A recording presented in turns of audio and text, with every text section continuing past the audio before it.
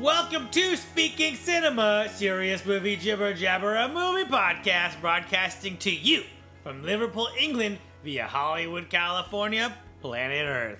We are Speaking Cinema. We talk about a movie before and after seeing it for a contextual conversation, but the only thing fit to podcast movies. Oh, what's that? You heard that there's other podcasts other than more things about movies? I never heard of that. Fuck those podcasts. Listen to us jibber jabber every single Monday. So try iTunes, SoundCloud, Twitter, Instagram, Facebook, Tumblr, at Speaking Cinema. I am your host, leading the British invasion, Mr. Jibber Jabber. Hosting with me here today, as always, Kevin, aka the Fifth Beatle.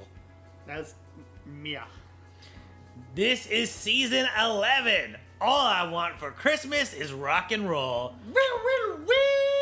A look at rock and roll documentaries. We could have went two ways with this. Idea one, rock and roll documentaries. Idea two, rock and roll movies. I'm talking Blue Hawaii. I'm talking Help. I'm talking Hedwig and the Angry Inch. talking all those talks. We went with the first one because chronologically one becomes four two. So next year probably do rock and roll for Christmas. Yeah. The narratives this year, documentaries.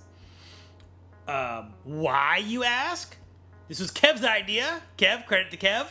As we were trying to put together a list of Thanksgiving and a playlist for Christmas, my anemic lists were met with uh, with Ke- Kev's look of just uh, like uh, just not- Complete indifference. just just just you know there was this sense of like uh, you know like Nobody, apprehension. nobody wanted to do it. yeah, it's and like we already did Christmas stuff. right. Kind of. And there's Christmas, there's Christmas horror movies, and there's like Home Alone, and those are all fine and good. But there's a lot of like Thanksgiving, man. It was that was hard. is slim picking. And so Kev just looks at me and he says, "Let's just do the rock and roll season."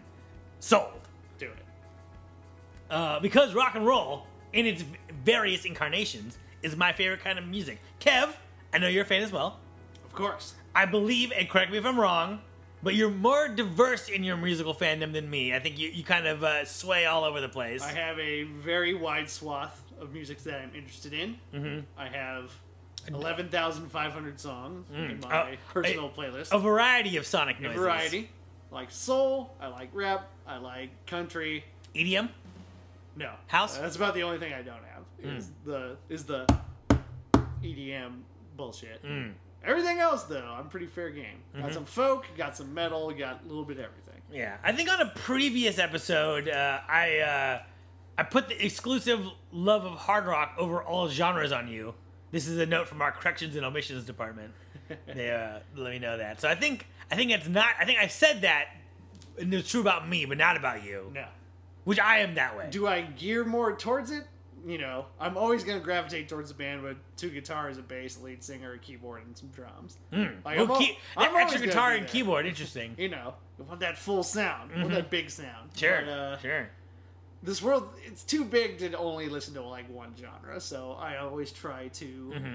expand my horizons and find new stuff all the time Yeah. So um, yeah, we're gonna we're pu- we're, we're correcting our our mistakes. We're getting rid of the holiday movies. Save the Halloween ones because Halloween is obviously It's the best holiday holiday, so. with the best holiday movies because there's entire subgenres of movies that take, take place on Halloween, movies about Halloween, just horror in general. But everything else for the birds. and i think uh, with these rock and roll documentaries i really feel it fits into our format because rock and roll and cinema have been like bedfellows for so long. Like filmmakers are obviously into rock and roll like martin scorsese jim jarmusch they make rock and roll movies documentaries. And then rock takes a lot of inspiration from cinema. You see music videos that are completely based off clockwork orange. You see references in lyrics and in playing and you mm-hmm, know mm-hmm. metallica's opening music is the ecstasy of gold from the good the bad and the ugly Right. so it, it's they've always kind of been intertwined, and so mm. for me, it's they're one and the same mm, almost. Mm-hmm. Yeah, and it's I thought it'd be a great way to explore that on this podcast. So what do you what do you think of the state of rock and roll music and music in general? You know what I mean? Like Everybody always says, "Oh, rock is dead, man. Nobody's playing rock and roll anymore." It's like rock and roll is never popular. It's never the thing that everybody's listening to. other It's- than in like the fifties. Exact. It's you know, and that's just because we were all horny teenagers and we had to get something out.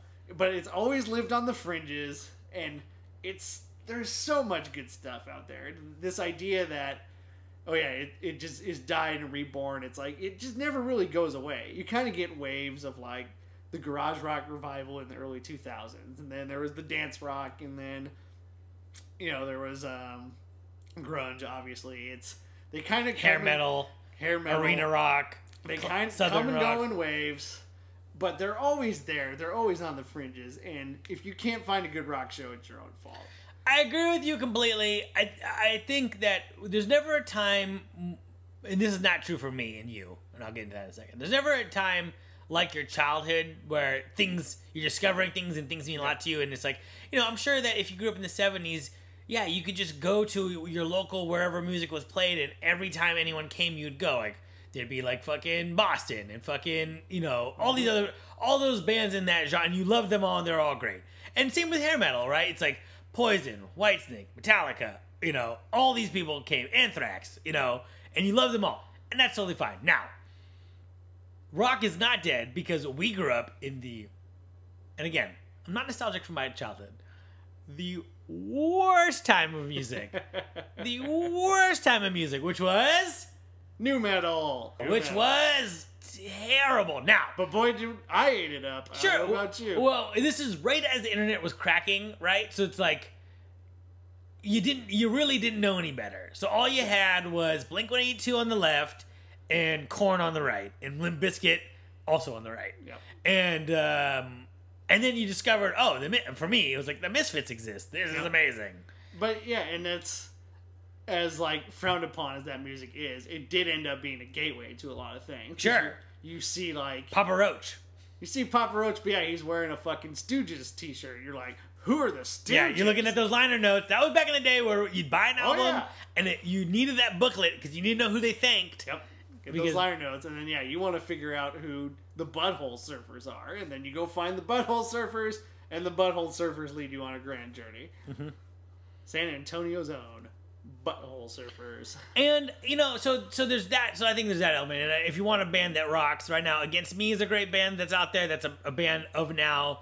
Ghost is a phenomenal band. Of, that's a band of now. Rival Sons is making waves out there. Who uh, who are those people who opened for Motorhead?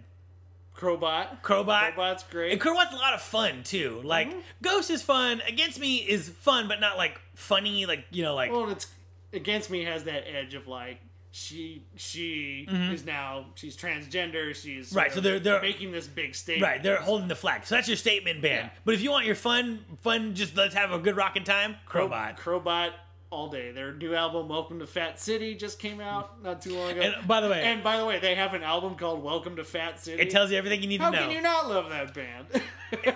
and uh, you know, also when you, also in the state of rock and roll, if rock is dead, it's like, well, I mean, I guess people begrudge this, but it's like you know, you got like the Rolling, like what was that? They had Oldchella. Old Cella, yeah. You know, the was Rolling Stones- Stones, Roger Waters, The Who, Neil Young, Bob Dylan. These dudes are all still out there. So when we were kids, I feel like your MTVs and your VH1s and your other outlets of medias were making fun of the Rolling Stones, like because famously Mick Jagger's like, I don't want to be playing these songs when I'm 30, and he played them at 30, 40, 50. Well, actually, he said quite the opposite. Oh, did he? He was on a, a talk show when he was really young, when the Rolling Stones were first just blowing up. And the guy was like, "What do you What do you want to do after this?" And he's like, "I don't want to do anything after that. I want to keep going." He's like, "You want to be on Mm, stage when you're 70 with a cane?" And he's like, "Sure, why not?" And then they show him on his 70th birthday. He's like, "Well, he doesn't even have the cane, but he's still on stage." you See, know? and I love it because and I, I've seen the Rolling Stones live. They're incredible. Well, that's the thing. Like, listen, if like there's just I I don't know. Then I don't know who said that other the, uh, that other quote. Someone said that. I mean, there's you know, there's plenty of people that have said that before. And, uh, and then, you know, it's like when it comes down to it, if if anyone in this world, fuck the politics of rock and roll, fuck rock and roll. Let's just talk about life. If you find something that you love, and you truly love doing it, and as you get older, you can you can you can still do it. Fuck, Yeah. what else is there, right? If the Rolling Stones are playing a concert and they're playing to you know packed houses and people want to see them and they're giving it you a show and they like doing it nothing's wrong there seven years old dude that's cool cool as hell. and i think i, I The, think the Onion had a great headline. It said, look at this washed up rock star doing exactly what he loves. You know? and it's interesting. I think the Rolling Stones, Lemmy, and Alice Cooper are those old guys who like they never really changed, and they're just like, listen, we're gonna do this forever, and fuck everybody else. You know, and I, and I respect that. Exactly. It's like just it doesn't matter if you're a rock star, if you're a teacher, if you do accounting. If you still want to do it when you're 70 and you can still do it, Why not? do it? And then, yeah, some bands aren't meant to last, like you know, fucking uh, the Smiths, right? We, Yeah. You're lucky you got those many years. Yep. But you know, I don't know. I think it's cool. Speaking of bands that didn't last very long but were highly influential, Oh, I don't know what you're talking about, but this time on the Jibber Jabber, the woman behind the Beatles 2013's good old Freda. Kicking off with the biggest band that ever existed. I'm not gonna be so bold to say ever existed, but possibly will ever have existed, right? in terms of just sheer popularity and world domination, World domination. the Beatles are unmatched. Well, we'll get to this. We'll get to this. I want to watch this movie and then talk about this. But it's like the Beatles are a brand like Kleenex. beyond, but like Coke, Disney, and the Beatles are. It's a a brand that is synonymous. Is like Superman, right? It's like everyone knows. You can hold that up anywhere in the world and someone will raise their flag and go, oh yeah, Mm-hmm. that. Good old Freda, directed by Ryan White, writers Jessica Lawson and Ryan White, starring Freda Kelly as herself. Himself. documentary. Produced by Tripod Media. If you're not familiar, Good Old Freda tells the story of Freda Kelly, a shy Liverpoolian teenager asked to work for a young local band hoping to make it big. That band? The Beatles. As the fame multiplies, Freda bears witness to musical and cultural history, but never exploits her insider access. The, uh, their loyal secretary from beginning to end, Freda finally tells her tale for the first time in 50 years. That synopsis comes to us directly from IMDb user Anonymous. Thank you, Anonymous. So normally we'd introduce like the movie, right? Yeah. But when it's the biggest band that's ever been the the cultural phenomenon, Kev, I say let's just talk about our personal experiences with this band. We've never seen this movie. Uh, missed it when it came out three years ago. Didn't know it came I out. did not see it in theaters.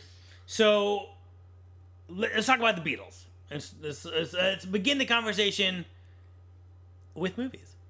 Have you seen any of the Beatles movies? Yes, I have seen A Hard Day's Night. Mm-hmm. Um, I have not seen Help, and I have seen Yellow Submarine. Mm-hmm. I have seen none of those. None of those. I highly recommend A Hard Day's Night. That is just a very fun, buoyant, like everything everything you'd think about a charming Beatles movie would be is A Hard Day's Night. It's it isn't just a fun little film. Has a Criterion DVD all to itself now too. I do want to check it out. Mostly for my dissatisfaction of Tenacious D and the Pick of Destiny. Eh, I, I'll defend that movie. I enjoy Here, it. here's my fun. here's my problem. Here's my problem. In the world of Tenacious D, in the world of Tenacious D, they're the biggest band in the world, right? Exactly. They're Metalocalypse. yeah. Okay, and I'm down for that, and I love them, and I and I think that they that that's a funny thing. Okay, so then, Kev, explain to me how it makes sense that they can make a movie about how no one knows who they are and no one gives a shit. It's their like origin story. And they Eh, become But that's like, but I, become listen, I've never seen this Beatles movie, but is this Beatles movie about how they're just four ugly guys that no one thinks are cool and they gotta convince everyone? They're at the height of Beatlemania in A Hard Day's Night. So it's just them like running around and then they'll like hide in a barber shop and then they do a little bit in the barber shop and then they gotta run from girls again and then they See, take a train. That's what I wanted. taping. That's what I wanted out of the Okay, Tenacious D movie. alright. I wanted a little bit more phantasm. Also, one of my favorite lines. He deactivated lasers with his dick. Come on. that that was. Come on. Also, my favorite line from that whole movie is, "I'll take the fried chicken and the steak, and I will also have a chicken fried steak." I like uh we have a song, it'll turn your brain to shit. That always makes me laugh. Yeah, yeah, yeah, yeah, yeah. So here's the thing. I was writing this little format that we're uh, going off of, and I realized that everyone loves the Beatles, and everyone gets their love from the Beatles from their parents, right? Who are just whatever. My mom never ever played the Beatles to me as a kid. Um, from what I gather, what she like, she likes them casually, right? She's like not against Yeah. them. but I think you know she's she's kind of secretive in her nature in her narrative, right? So I think she was rocking Janis Joplin in her '74 Toyota Celica. um, this not confirmed, but highly suspicious. but highly suspect that that, that was the eight track rolling around in that backseat. so did your parents play you the Beatles? Like, how did you get into them? My parents listened to a lot of. I remember it. My mom had a lot of Paul McCartney solo albums, Mm. and so that's where I kind of learned like, oh, who's who's Paul McCartney? And she's like, oh, he was in the Beatles. And then the big breakthrough was when that Beatles One album came out. they had, like their twenty number one hits or whatever. And I mean that just reignited Beatlemania. And then that's where I really learned my aunt was a huge Beatles fan growing up. And so she had like this Beatles book and that's kind of when I really started to discover um, the Beatles and who they were. And then when they released that remastered box set, I went and bought it. So I, The, mo- the Beatles in mono. I bought the stereo one. Oh, you sold know, out. I'm You not- sold I'm out. You sold out. I'm a sellout. But um, so yeah, I own every Beatles album, and that one includes all the singles that weren't on albums. So I have every Beatles song in my collection. So would you say that you like them? And by like them, I don't mean like them in the like how we all like Coke. Yeah. I'm talking about like you listen to them by yourself. I do. They're as someone who plays guitar and is interested in the songwriting craft, their songs are so perfectly put together. And then when you learn them, they're using you know, their songs sound very simple, but then when you really dig into the nuts and bolts of them, they're pretty complicated little tunes. Hmm. And they're just very like certain little guitar runs or chord changes are very tricky, and they're deceptively complicated songs. And it's that's that's really fun. It's always hard to find that mix of anybody can listen to this and dance and think it's a great song. But then when you try and actually play it, and if you try and rearrange it at all, it's like it just doesn't sound the same. And you really get the feeling that Lennon and McCartney honed these perfect little tunes, and they were just great songwriters. So, and then you know they go through the different eras and they keep expanding, keep trying different things, and so the Beatles are just never boring across their entire journey. So I, I like that you say that because it gives me some perspective. Because, and I'm not throwing shade just to throw it, right? Um, you never. I get why people like them. It's very listenable music.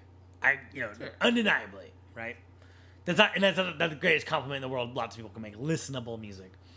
What I don't get is why 6.5 out of 7 billion people, it's their favorite band, right? Or their favorite music. Not, fuck bands. They wouldn't even consider them a band. It's my favorite music. I, it's like I, I get why people like it. I just don't get why people love them above everyone else. I think you're, you, you've presented some interesting uh, analysis of that. And I'm coming at it from someone who is a big music fan, and I don't want to call myself an insider, but I'm interested in things like, But you and Rick How- Rubin are having lunch tomorrow. you know, well, you know, at his Malibu house, we're having kale. I'm interested in the idea of like, why is this this great the fingerprint of like these songwriters versus this songwriter, and why why is it when they write a song this way it sounds like that? Why is it when they do like all of that kind of music geek nuts and bolts kind of stuff? And the Beatles are just filled with that. And then you can you can dig into the rarities. You can dig into there's an album that just has like the, a lot of in between stuff when they're in the studio, so you can hear them working things out. You hear them fuck up chords, and that's great. You know, it's like George Harrison's this revered musician, but then you hear him strum a wrong chord, and he's like, "Oh shit, um, oh," and it's just it's it's great. I get what you're saying, but I, at the end of the day, they just don't boil my water, homie. All right, so you know, there's that old adage: Are you a Beatles man or are you an Elvis man? You can I- like both, but you gotta love one or the other. I've heard that about the Beatles and the Rolling Stones, and then the Beatles, Beatles and Elvis. And I guess I'd be an Elvis guy. Although that very concept angers me to my core. But you know, but if I had to, if you ask me to choose, I'll choose Elvis. I do, and I like Elvis. I think Elvis I like is Elvis interesting. a lot. But the, this is that this is that whole adage like you can't wear the band shirt to the thing. It's like Yeah. go fuck yourself. I can do whatever I You do want. whatever the hell you want. But the thing, the the, the the thing is that um, it's just like yeah, no one questions the Beatles, and it, and it's like the personification of this is Beatles mania, which is an exception that proves the rule of snarkiness. Like if any band, any band came that close to that level of fandom, they'd be hated, burned at the stake for it, right? And I, and it's just weird. Like like we were, oh my god, Beatlemania, how amazing was that? That does not sound amazing to me. That sounds fucking weird.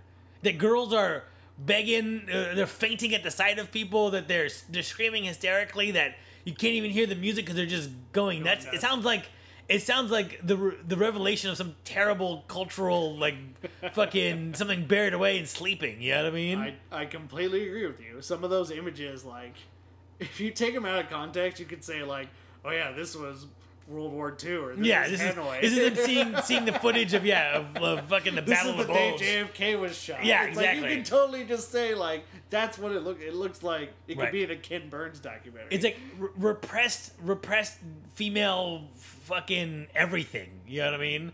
But yeah, it's and that's that's kind of the idea. You got to think of the time where it's, you know, Lemmy talks about. I remember a time when there was no rock and roll, Right.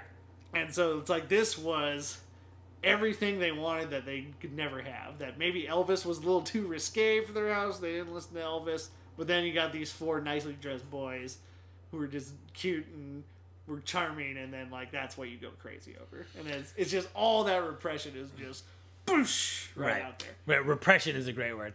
And then this this all sowed the seed for bubblegum pop music. You know what I mean? Oh, yeah. Which is a uh, another terrible trend from our collective childhood. that was awful. Like yummy, yummy, yummy. I got love in my tummy. No, I'm not gonna like fucking NSYNC and the Backstreet Oh, Boys yeah, yeah, and. Britney I mean, Spears, Christina that, Aguilera. yeah, that level of fandom. I feel like we didn't even really see it again until that happened. You know, I mean, yeah, and like and maybe Nirvana, but not not on that level. I mean, because Sinatra was the first like teenage act. You know what I mean? Like Sinatra was the first. Like you know, the Bobby Soxers all loved him. He was like a teen scream kind of thing before even the concept of a teenager was really a thing. But these are the first. This is the first boy band, and to their credit, they're like actually talented musicians. But like, um, you know, I mean, the the the fruit that this bared is just some some awful times. Absolutely, I completely agree. So, uh, as of this recording, you can find this movie on Netflix, Amazon, iTunes, and Vudu. We're gonna get in this movie in one minute. Now that we've blabbered about the Beatles, anything else you want to say about the Beatles? Um, Ringo forever. I have seen Paul McCartney live. He is incredible. He, I recommend seeing him anytime. Seven years old, still fucking doing it. Played a three-hour show. I'd say like seventy percent Beatles music. All his other. Oh, really? Oh yeah, he played a ton of Beatles. He he can. He wrote all those songs. How, did he take Ringo on tour? Ringo's still alive, right? Ringo is still alive. He does not take Ringo on tour. Come he's kind of he's got his own little band. Whatever drummer he has is great. It's this big Samoan dude, and he is fantastic. He's a great drummer. But yeah, Uh, he played for three hours and looked like he could have gone three more. Wow. Like he didn't even look like the least bit like oh like you know you see like Metallica or um, Nick Cave or somebody like that live, and they just look spent. They have put all of their energy out. Yeah, there's nothing left. Like, there's nothing left. Paul McCartney looked like comb his hair a little bit, maybe get a drink of water, and he could have played three more hours. Do you regret not going to Oldchella? I was out of town when it happened, and I would have liked to have gone. That being said, I've seen a lot of the bands from there. I've seen the Rolling Stones. I've seen Neil Young. I've seen Paul McCartney. Um, the Who are kind of a shell of their former self. Ooh, shit on the There are Who. only two of them alive anymore, and um, it's not even the two interesting ones. Um, Roger Waters, I'm kind of indifferent towards. I'm not the world's biggest Pink Floyd fan, although I do like a lot of their stuff. And then um, same with Bob Dylan. I've heard he's hit and miss live, so it's sort of uh, don't really need to see him. Hmm. But it would have been fun just to go for the atmosphere. So, know? so what are your expectations? So, for as much as I love the Beatles, I almost have no interest in hearing about the Beatles story again. I feel like we know it, it's been hammered in so many books, movies, TV specials. It's like, I know the damn story of the damn Beatles, you know? But the only thing that interests me in this is that it's coming from somebody who was right there with them and who is still alive and who can recount it.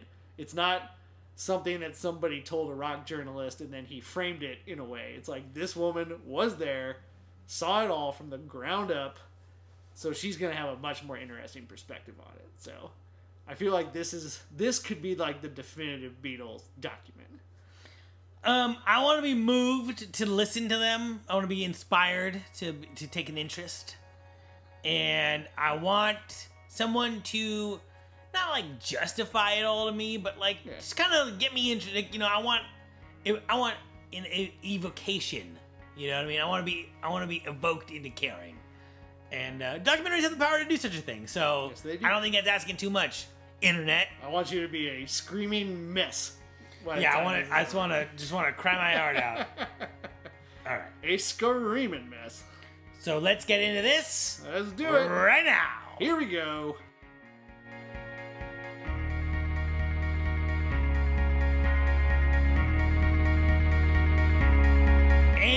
We're back. We're back. Kev, how'd you watch it? Netflix streaming. Watched half at work on my lunch break. Finished it when I got home. Watched it on Netflix on this couch. Netflix. Great. Use offer code. No, no. That should be their their tagline. Great. Netflix. Yes. Um, what did we think of the story of good old Freda? this is a good story. She's such an interesting personality to carry us through the narrative of the Beatles.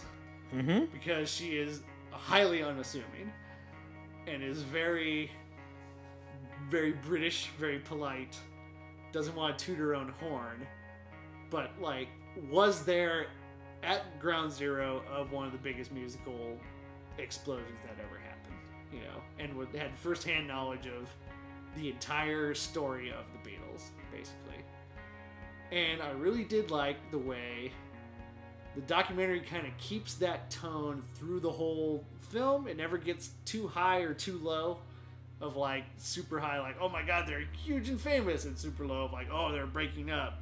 John Lennon's divorcing his wife, where it's like, it kind of keeps that good British even keel about it. And it really is ultimately a story about her. It's not just the Beatles story through her eyes. It is it is her story and she just happened to have this extraordinary 10 years in her life and it, you know now she's just some office worker in britain and you know doesn't didn't become like a rock and roll lifer just lives kind of this unassuming life and and interesting that at the end they reveal that she's never really told anybody about this has never really documented it in any kind of way in that and she said i'm never to tell it again this is the document of my time with the Beatles. So I thought it was a very good little film. Um, so I think as a, I think this movie as a non-fan is a bit thin. It's pleasant, but it's like a rice cake. It doesn't fill you up. And, and that's not to say like Freda's very charming, especially in the first half of the movie. But I don't think her charm it can't hold up what's not there. I mean, you found her charming. We both found her charming. Yeah. That's not that's not in debate. I'll agree with But that. I feel like she, you know she hasn't told her story ever. She didn't tell much of a story. I mean, she told about how she got involved with them in the beginning, and then she told some de- there's some interesting details about you know how she ran the place, right, as the secretary and her interactions with like their their manager, producer, whoever that guy was. Brian Epstein, he was their manager. Right, but there wasn't any. I mean, and listen, I get that if you don't want to tell, and I get that if you want privacy, I'm not against that. But it's like there, there, she wouldn't. There was very little information going out there. I feel like everything was front loaded. in This movie is the front half, and then, I mean, listen, I mean, they, her son died, and I get that she doesn't want to talk about that, you know. But it's kind of like as an uh, as an art object, which a film is, it feels lacking if no one talks about that, right? And I get, I, and I, I, and listen, if she doesn't want to talk about that, that's cool. But then don't make it. I don't. I don't want to see a documentary about it because there's not enough there. You know what I mean? And like, I don't know. It's like why no one. I feel like no one was willing to ask her any questions, or maybe they asked her and she didn't answer. But it's like, why didn't you try to be like Ringo's secretary after Ringo? You know, when they all did their separate things. Why did you? Why did you get away from them? Was that invitation not there? It seemed like there wasn't. I don't know. It felt very amateur in that way of like. It seemed to not be any follow up on anything. I really didn't like this movie. Okay. I will agree that I won't ever put this in the pantheon of great rock documentaries, which are stacked with good filmmaking and those incisive moments that you're looking for. Yes. but I think it just it does paint a unique story of a story that's been told a million times and a half, and it's just to limit it to just her perspective. I thought is an interesting move. Now, will she not divulge certain things? That's fine. There's mystery in rock and roll. There's always going to be those untold stories of like, you know, did she have an affair with any of them? Eh, She kind of hints she had the hots for one or two of them. or four of them. Or, I think or all four of them. also, she kind of bounced around. Whoever whoever treated her nice that day. hmm And I respect that she don't want to about her friends. I respect that. I like when, I like when she said, "Oh, John Lennon with his that Roman nose." Uh, and it's a cool angle, right? It's a cool angle. She's like, I'm not gonna do it. But someone has to be grilling the steak, homie. Someone has to be grilling the steak. Because there's a difference between mystery and nothing. And I feel like that's this is a very fine line to toe of like, just use your imagination, man. It's like, no, give me, I need some shit. yeah. So And I, I just I think agree. I, I think the lack of inclusion of Beatles people really hurts this movie. The fact that Ringo does a cameo at the end and there's no Paul, that doesn't look good. That's not a good look for the movie. yeah, that's a good point. You know, and it's like, and I like how they interviewed some other bands of the era, which I liked a lot, and I liked those interviews a lot. Yeah, they got um. The four somethings. Uh, sorry, I was thinking. I watched another documentary here. I was they had watching- uh, White was- Snake I was and thinking about the birds, and then but that was a different documentary I was watching. Mm-hmm. So And I mean, maybe and maybe because it's already been done to death, that they didn't include other people, producers, fans, people she worked with. You know what I mean? Um, but I don't know. I, I feel like it really lacked, and there was times in the movie where it's like, okay, this could have been this could have been chopped up into like a Vice twenty minute piece. I feel like. I could buy that too. Actually, it might. But I think I I just like the idea of someone who got in on the ground floor on complete fucking accident, mm-hmm. basically. Which, when you read a lot of rock and roll stories and do that, a lot of stuff does kind of happen on accident. It's like it just so happened to be their fan club manager, and this band just happened to be huge, and they needed a secretary and they hired you. It's like you can't apply for that position. It just happens, you know. It's just you are there at a moment in time that it could never happen any other way. And I just I like that angle of it. Now, is it as incisive a documentary as you could have had? Is it as informative of is it going to make any new Beatles fans? I don't think so. No. Yeah, I don't think it it doesn't go far enough in that respect. But I think that's their goal though. I think it's supposed to be kind of small. I I'm- think they're supposed to only they only they don't need to hear you know, they want to hear what she says, what um, Ringo's mom says. It's like the people that were kind I like of that. I like on that. the outside of it. You know, people that she kind of worked with. It's not, you know, if Brian Epstein was still alive, it's like they probably wouldn't have even interviewed him for this. It's like they want to see what were the regular working stiffs in Beatles Incorporated.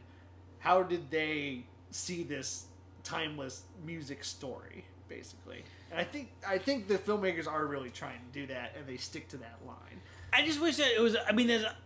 I just feel like a lot of it, like they don't tell anyone's ages until like halfway through the movie, right? And she's like, "Oh, I, I dropped out of high school," and it's like, why? You know what I mean? It's like just just the little things of like, not pe- people don't tend to drop out of high school, so because you had a bad home life, because at that time everyone was feeling down. It was the '60s, like what?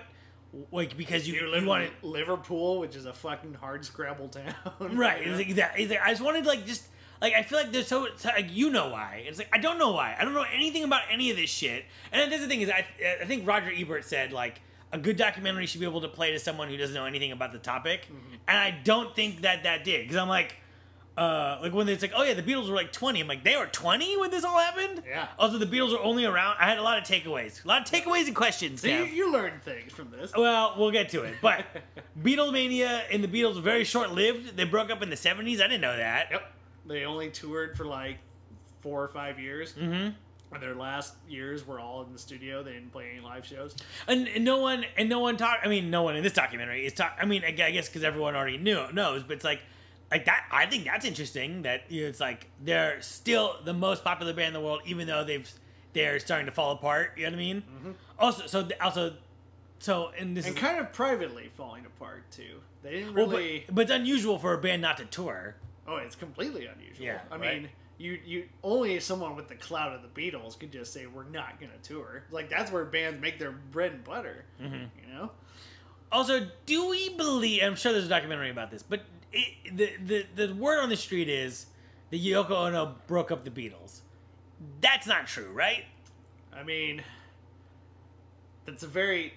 You can pinpoint her showing up as the start of the real breakdown. When you. Because it's.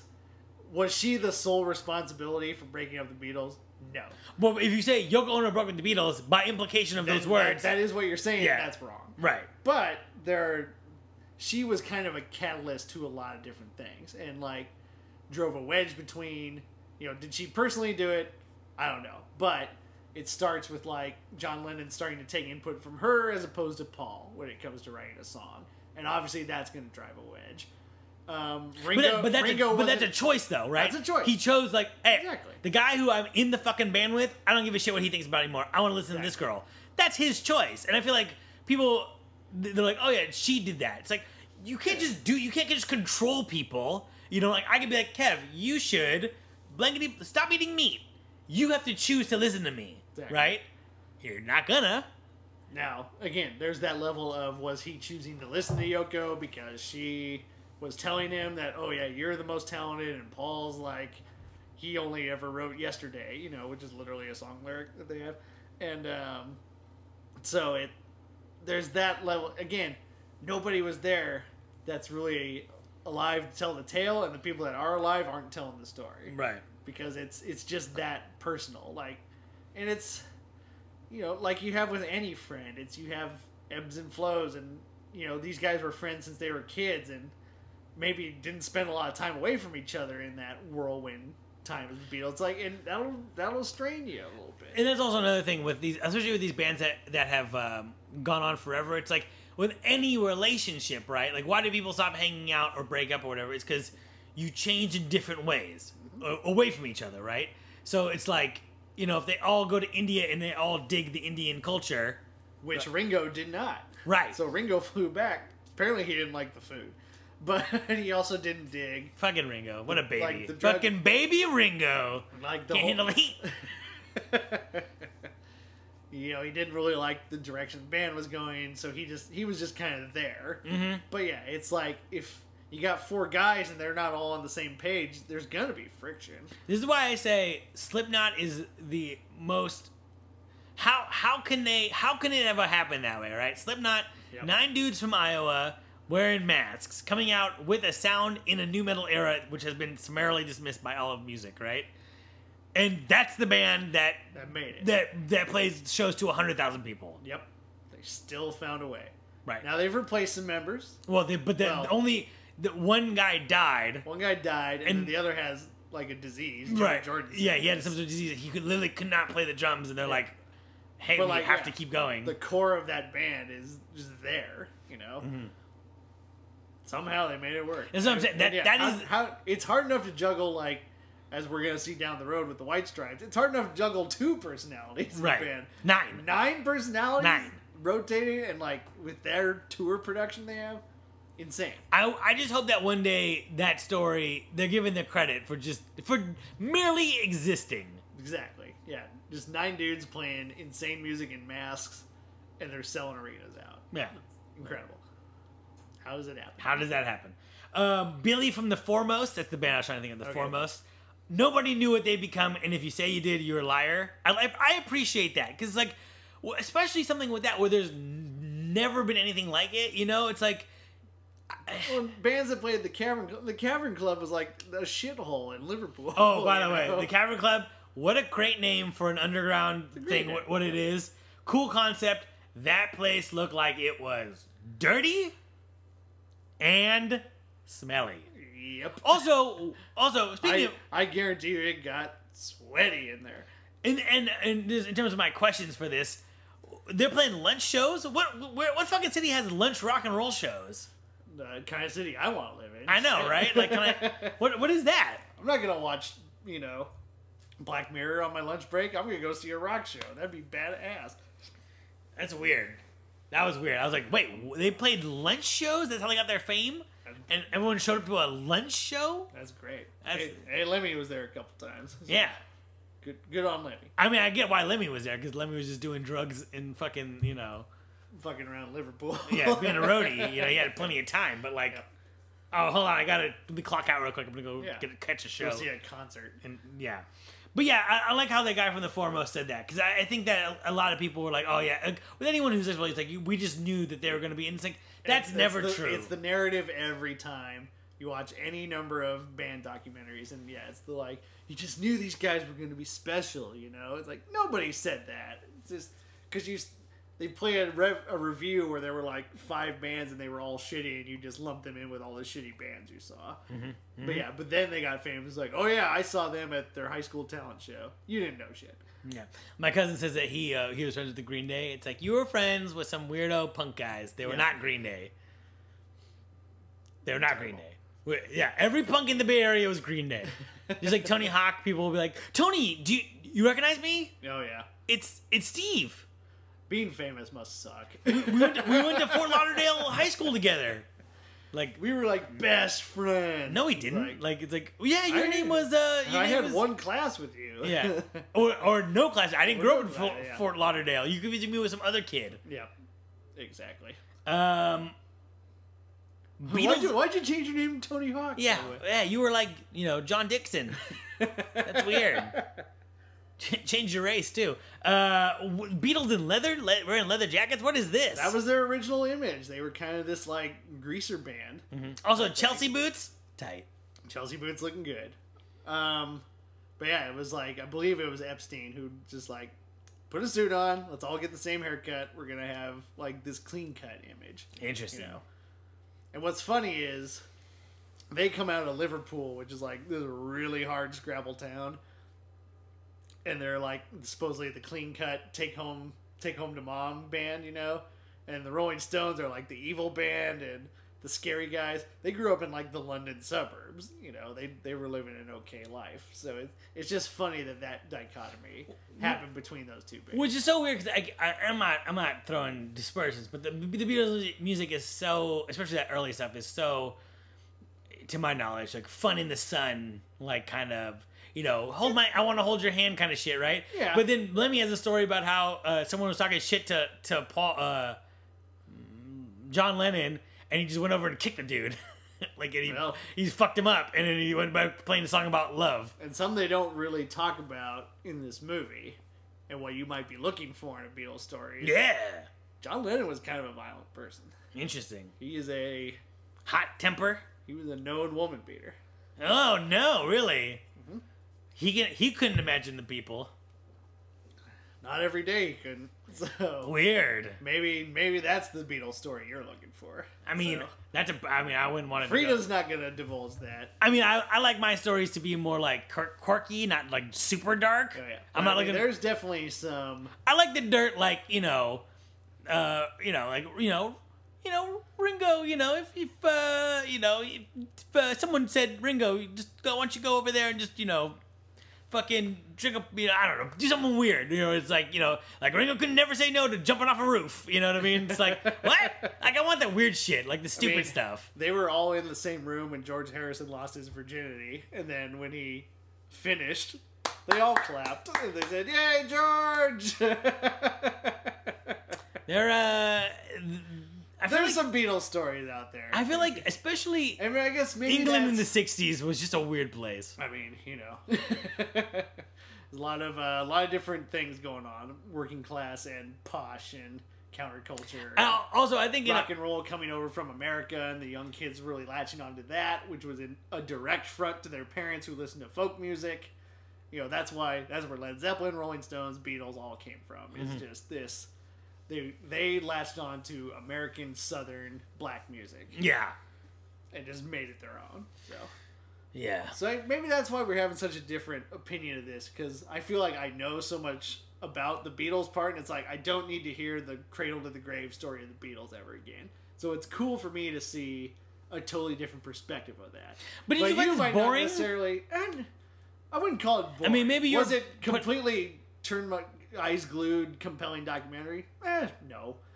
I've seen better, of course, but as a Beatles fan, as someone who's interested in them, I think it's a a good perspective on what we usually get when it comes to the Beatles. Like that Ron Howard documentary that just came out, I have no interest in watching that whatsoever. Well, what's that about though? it's about their touring years. So he focuses it on like those four or five years where they actually toured. Don't care. I, I feel like I know that story and I've heard it and it's been beaten into the ground and what what new can be gleaned from it. So Well, it's weird. Did they just like playing together because they were the Beatles? I mean there were a lot of things in it too. So I mean, I'll watch a different documentary. That's for why. uh, that's for a whole other discussion. My last question is: Do people still write in for autographs? I think If they I send do. my autograph book to Ghost, You'd will be, they? you'd be amazed how many people still really hound for autographs, especially in a day of eBay, where a lot of people, in fact, they're starting to restrict people on this. You know, Henry Rollins talked about at signings, guys will have just stacks of shit that they want him to sign. And he's like, I know you're just gonna sell this on fucking eBay. It's like this should mean something to you. It's like, and that's why they have to limit.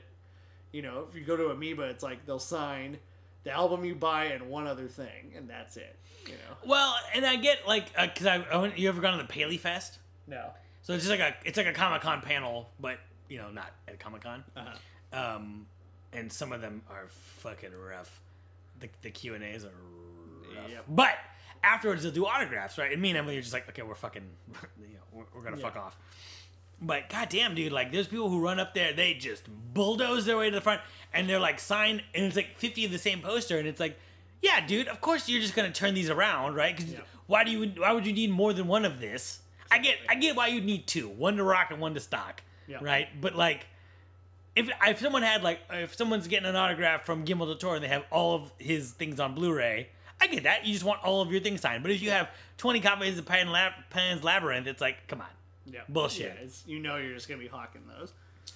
But yeah, there is there's still people that clamor for sports stars autographs, movie stars, everything. Baseball cards. Baseball cards, baseball cards are still a thing. So Yeah, digital baseball cards. yeah, so yeah, there probably is. Uh, if you can't sign in, have something personally signed, um, you can find it on eBay. You know, Is did anything not work for you? We know it didn't work for me. I feel like I like the tone of the second half, where it's kind of that that slow breakdown of how like everything's kind of just starting to starting to crack at the seams. I do feel like her being so cagey about a lot of her personal details keeps us at a distance from her. Yeah. And like, if you know, okay, her son died. How old was he? How did he die? Was it an accident? Was it a medical thing? You know, it's And how, like, how, would do, never. how do you ever recover from that? Like mm. that. Me as a humanist, I want to hear that human story. Right, exactly. And like, I get that you don't want to talk about it, but as this is a study of the human condition, I need. I'm naturally curious. and especially a documentary that really is about you more than it is about the Beatles. It's like we do want to know. You know, the one story that they do get that I think is really good is when she wants to move to London. Her dad tells her no, and then like Brian Epstein has Yeah, talk- call, yeah, so convinced. talk to her dad like to hear to hear her reminisce about how he said you know your daughter's very smart she's very good she will be fine in london you know to like to see a guy who's this big rock and roll manager personality do something of that caliber is really cool and like those kind of stories really show you what kind of life she had who she is and the people around her but yeah she gets a little cagey with too many details and yeah, and it's like we're here to get the story. And like maybe we come in because we want a Beatles story, but we leave even more moved because we heard your story. You know? So yeah, I think I, I, I'm right there with you. like, it could have there could have been moments where it went that far. I have no nitpicks for this movie. Do you have any nitpicks? Not really. Yeah. Any? Uh, the only the only cool thing I want to just point out is that this movie does have a great soundtrack. Oh yeah. Um, not only just Beatles songs, but covers of Beatles songs, Right. and then Rock and roll songs. songs of the era. It's Yeah. just yeah, it's fantastic. Yeah. Um. In the end, would you say that you like this movie and does it work? I do like it. It does work. I know in the first half I said I kind of want a new perspective on the Beatles, and I think I kind of got that. But I really wanted a little bit more, Hmm. you know. And I want to know more about her too. She seems like a perfectly charming person who has lived an interesting life for the most part, or at least this ten-year chunk of her life is certainly very interesting. So, you know, maybe it, it didn't quite go as far as it could have. If a seasoned old rock and roll documentary vet had made this thing, I bet he could have gotten that out of her. Uh, I don't like this movie. I don't think it really works. I think if you're a Beatles fan, like a really hardcore Beatles fan, it's a good completionist kind of a, Yeah, a thing. But definitely. If you own the Beatles Anthology Three, which is a bunch of studio outtakes, both versions of the Let It Be album, it's like this is just one more thing to add to your Beatles. if you got Beatles in mono, this is for you. Pretty much. but you know, um, and it, I will say it does humanize the Fab Four, as I've learned they're called. Fab Four. in, in the sense of it's a story about going from nothing to something. You know what I mean? But I just think that in the end, it's a disappointment. Now, my crazy fan theory for this, and not it's not a crazy fan theory, but this is just something that you think about. She fucked them all, didn't she? Oh, All no. four of them, I all think- at once, I- in I- the Cavern Club. I don't think all four at once, but probably two of them. That's what I was gonna say about uh, that's what I was gonna say about Ringo, but I didn't want to go to that place. But here we are. You know, Ringo, he just you know him and a buddy, you know, all consensual, mind you, but uh, yeah, he get uh, he, he he was a fan of the Devil's threesome, so they were over as a band, right? Uh-huh. And but in the truest, like they were they were over as a band, obviously, but they were also all individually over. And I don't think people really understand that. Like, lots of lots of bands are over. Like people like Tool and people like Metallica and people. Tool's making that album, damn it. yeah, right.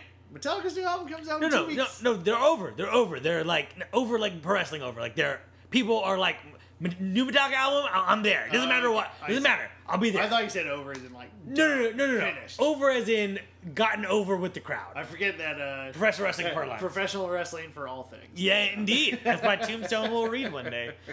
Um, but the members of a band are not always over in the same way, right? Like, you know, Kiss is the best example. Kiss is a band. People would fucking just Kiss Army, baby. Mwah. Those solo albums, no one gave a fuck, right? Ace Frehley's is good, but yeah, that was a that was a very expensive failure. Right. For Kiss. so that's an interesting thing about the Beatles is that even you know, you know, Paul and John are like the stars of the show, right? But people are fucking into Ringo still. You know, people. And George Harrison's solo albums are brilliant. He's a brilliant songwriter. Right, and I don't think that's just you. I- I don't think that's an isolated opinion. I think a lot of people think that kind of stuff, Yeah. right? So it's interesting because, like, you know, you look at, um, like, you know, like the fucking lead singer of uh, System of a Down had a solo album, and people, those who liked it, liked it, Yeah. but it didn't light the world on fire. It's just interesting that that more than probably Yeah, any band in the world Tankian isn't thought of as a solo artist. It's mm-hmm. like, oh, the lead singer of System of a Down has Had- had a has- solo has, thing. a couple solo albums. That's Cool. cool. But yeah, it's always tied back to that. right. Now Paul McCartney has gone and kind of made a name for Yeah, himself. indeed. I mean, he had Wings after it, and then his solo albums, and now, now he's a must-see stadium act at the ripe young age of seventy. Right. That's what I'm saying. It's like who what other bands I'm sure there's some bands who have similar success, like of, of everyone was able to, to do something, but like it's not like this. About the only thing I compare it to is maybe Morrissey. You know, the Smiths were huge, but he is still But the Smiths, the rest of the Smiths didn't. Uh, Johnny Marr keeps busy. Yeah, so, but not. But he ain't selling out at fucking the Staples Center. No, he yeah. You couldn't put Johnny Marr. Johnny Marr could sell out a small club, and that's probably it. Yeah, so it's just really interesting that And like then they'd be like, "Oh, play play uh, Meat is Murder," you know.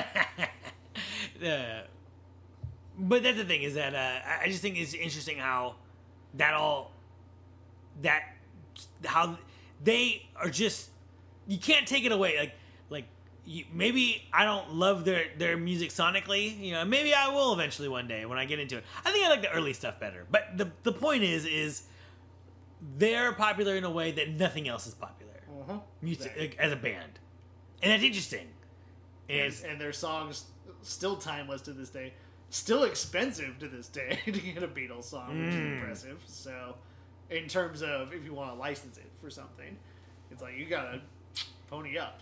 You know, it's like those have not depreciated in value whatsoever. yeah You gotta sell some uh, Apple computers and some BMWs. I mean, Ringo probably did those Skechers commercials because he's bored. Did you know Ringo was in Skechers commercials? I mean, As, as recently. I mean, They're good commercials. He's just like the comfy shoes. Skechers, I play my drums in them. Uh, and they're trying to rebrand themselves Skechers. Skechers, I- in my eyes, will never recover, but you know, whatever. I like mine. What? You've seen my Skechers. Oh, oh, oh, oh, yeah. I like Skechers. Nah, not No problem. Uh, Whatever. I'm not cool. Well, hey, we didn't come here to talk about Skechers shoes, right? Uh, anything else you wanna you wanna add about the Beatles? Um, I do recommend everybody dig into their discography. Don't just listen to the hits, although the hits are plentiful and good. They have a lot of good B sides, and if you really want to learn the craft of songwriting or want to study it more, those songs are perfect to dig into because they really do interesting things with chord structures and notes and the way things play off each other. It's McCartney and Lennon were very smart songwriters. I'm, I'm gonna check out the early '60s stuff. I'm gonna check it out. I'm also I mean, the early that that that is their early stuff. It's early '60s. Yeah. Or you're talking about late '60s because you said you you like their early stuff better. no, I don't like any. I don't. I'm not familiar with any of it. Okay. So I'm gonna All start. right. I'm gonna. I'm gonna I mean, try yeah, to. definitely start take the journey. Mm. Start from the first album and go to the end. But I'm gonna say it's not to the credit of this fucking movie. Don't take no credit, Freda. It's from our conversation. So Paul McCartney, you owe Kevin one. Coke. Uh, and I'll also say it's interesting that no one in recent times has ever tried to rip off the Beatles in terms of doing like a harmony kind of a sound. And how come bands don't play in suits anymore? Let's get some suits, gentlemen. yeah, I'd like to see. I mean, the Mighty Mighty Bosstones, they the, did it. the Hives, they play in suits. Yeah, Or uniforms. yeah.